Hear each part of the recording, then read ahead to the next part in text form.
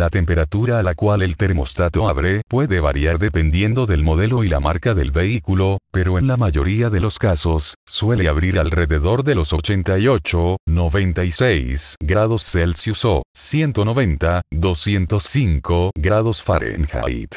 El termostato actúa como una válvula que controla el flujo de líquido refrigerante hacia el radiador. Cuando el motor alcanza la temperatura de apertura del termostato, este se activa y permite que el líquido refrigerante fluya hacia el radiador, donde se enfría antes de volver al motor. Esto ayuda a mantener la temperatura del motor en un nivel adecuado y evita el sobrecalentamiento. Es importante destacar que la temperatura de apertura del termostato puede variar según las condiciones de conducción y el diseño del motor.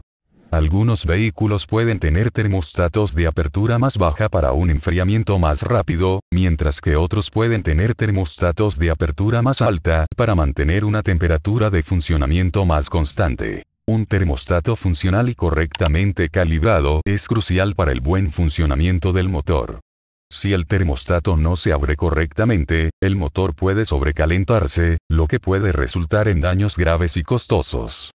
Por otro lado, si el termostato se queda abierto todo el tiempo, el motor puede tardar más en alcanzar su temperatura de funcionamiento óptima, lo que puede afectar el rendimiento y la eficiencia del vehículo. Suscríbete para más videos.